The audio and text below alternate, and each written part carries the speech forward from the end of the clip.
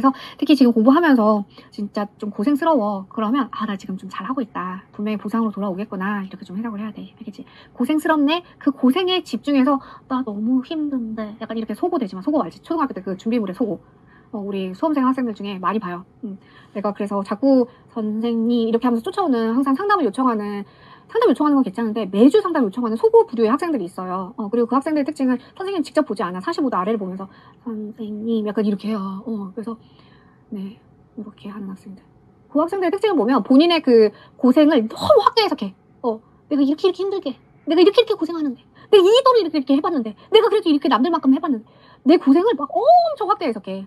그냥 담백하게 딱 해석하는 게 진짜 중요해. 감정 한 방울 넣지 말고, 아, 나 오늘 공부 안 했어? 그러면 내일 공부 많이 하면 돼. 오늘 공부 진짜 고생스러워서, 야, 씨, 나 수능 잘 보겠다. 그렇게 담백하게 해석해. 제발. 이렇게 고생하는 나 불쌍해서 어떻게 뭐 이러, 이러지 마 이러지 마 난 오늘 너무 힘들고 피곤한데 어떻게 어떻게 뭘 어떻게 해? 자면 되지 담백하게 알겠지 제발 속고 이거 하지 마세요 알겠죠 네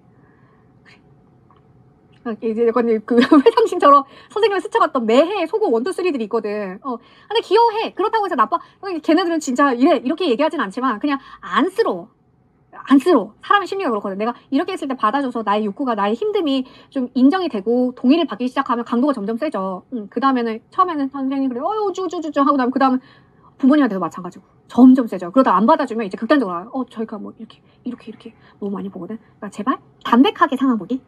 어, 너무 과장해서 감정적으로 받아들이지 않게. 오늘 공부 안 했어. 그럼 내일 열심히 하면 돼. 오늘 잤어? 아, 그러면 뭐 푹 잤는데 뭐 체력 비충한 거지 뭐. 코로나 걸렸어. 그래서 일주일 동안 아팠어. 에이, 수능 날 코로나 걸리는 것보다 나은 거지 뭐. 항상 담백하게 해석하기. 알겠지? 음. 자, 고생 많았다. 오늘 진짜 고생 많았다. 네. 자, 그래서 다음 시간부터